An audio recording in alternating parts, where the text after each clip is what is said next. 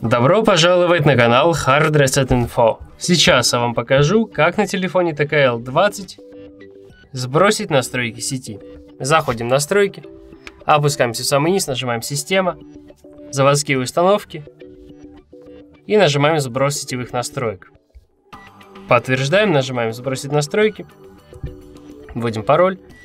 И если вы сбросите данные настройки, то ваш телефон забудет абсолютно все подключенные ранее точки Wi-Fi. Если вы с этим согласны, нажимаем «Сбросить настройки».